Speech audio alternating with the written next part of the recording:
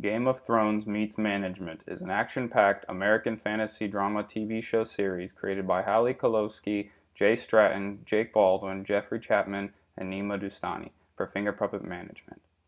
The show is set on the continents of Westeros and Essos.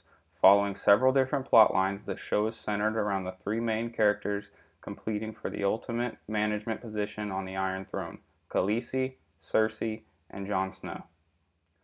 Our characters meet many friends and foes along their journey to King's Landing. Loved ones will be lost, but that is just what happens. Because when you play the game of the thrones, you win or you die. There is no middle ground.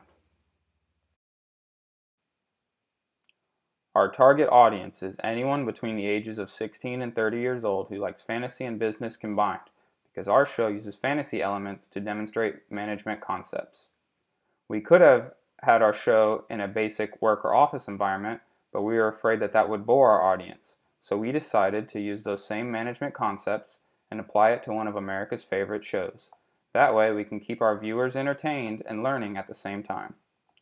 One example of this is when Khaleesi is having a tough time with the dragons because they are terrorizing the people, so she uses a rational decision process to help solve the situation.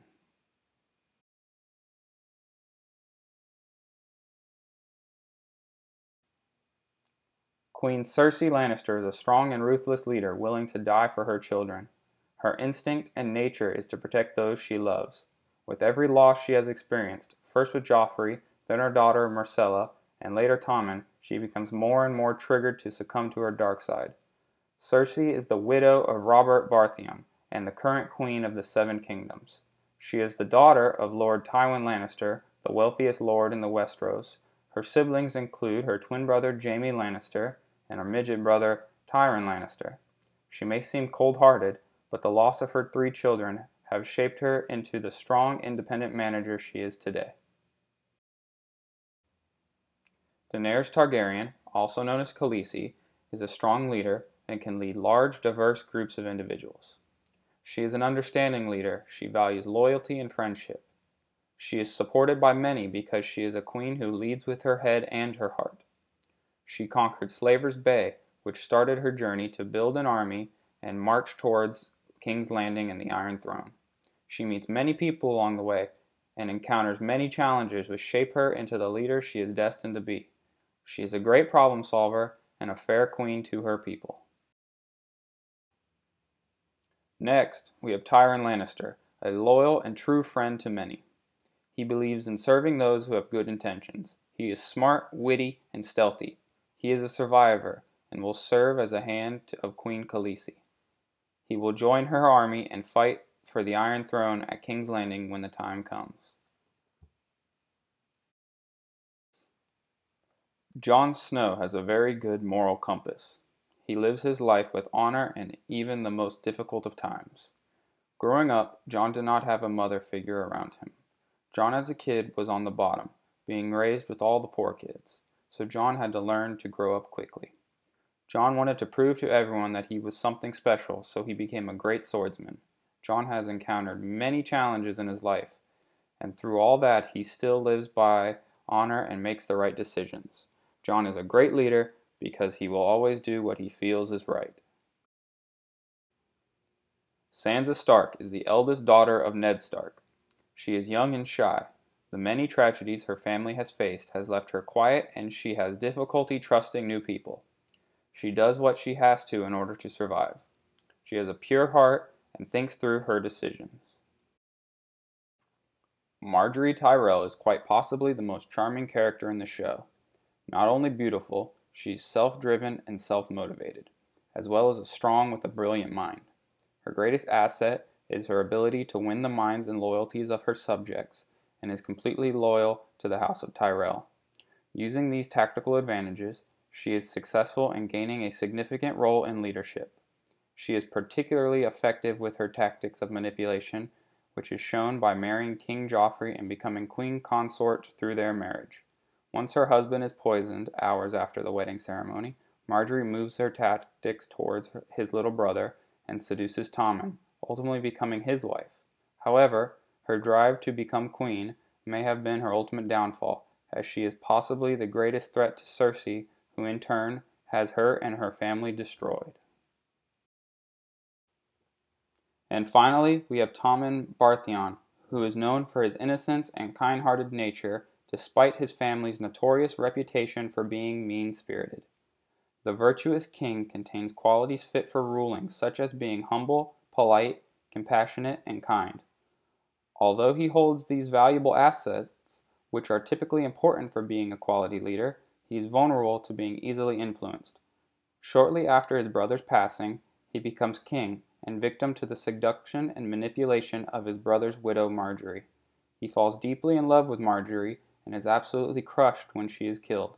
Once seeing the great sept of Baelor explode with Margaery and her family inside, Tommen immediately removes his crown and calmly throws himself out the window to commit suicide.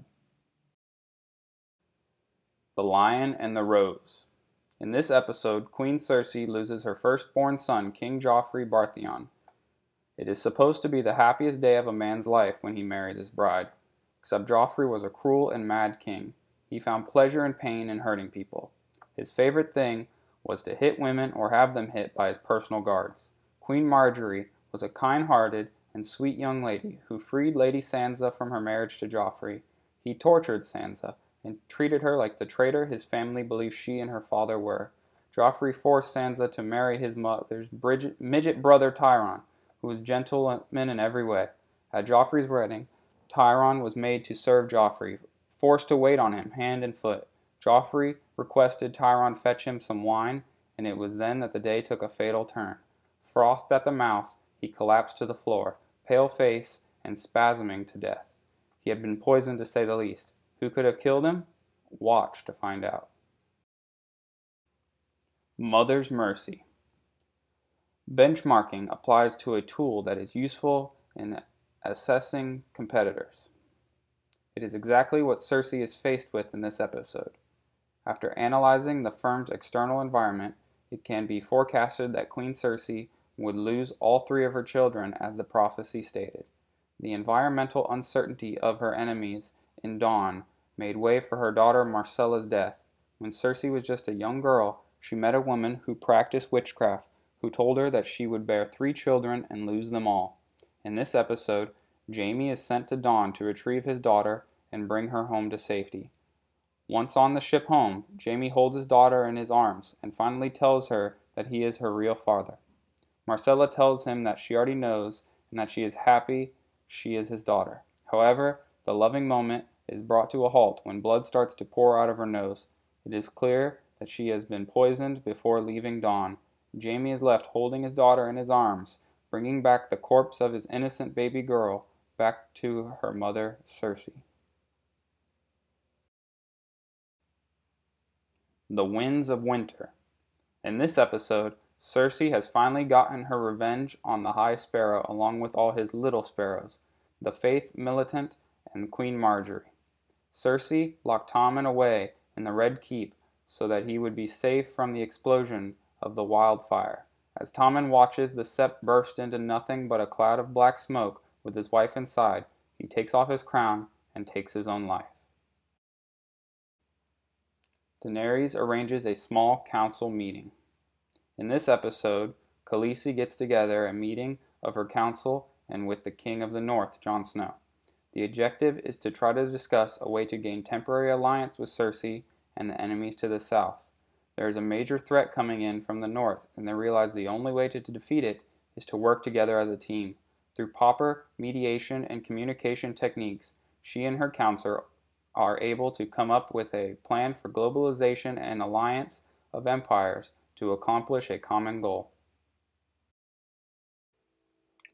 Tyrion counsels. For this episode, Tyrion tries to counsel Daenerys and explain negotiation tactics to try and create a unified, globalized kingdom. He understands that to accomplish this, Khaleesi will have to come to a compromise and come to an agreement with the competing organizations for an alliance. He explains to her that if she is to manage the entire kingdom, then she will have to be a different kind of manager and leader than her predecessors. First of his name. Here, Tommen is crowned the new king of the seven kingdoms as Margaery watches on. Although it would seem cruel, many are relieved that he is a much wiser and holds much higher values that apply to management than his predecessor. His skills in effective leadership will be most valuable towards his success as a ruler of the kingdom.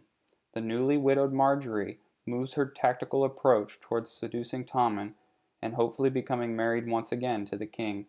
Cersei, although clearly threatened by Margaery, personally recommends this to her by stating he will need help at the top of the throne. Margaery applies the acquired needs theory in order to become queen once again and convince Tommen to marry her.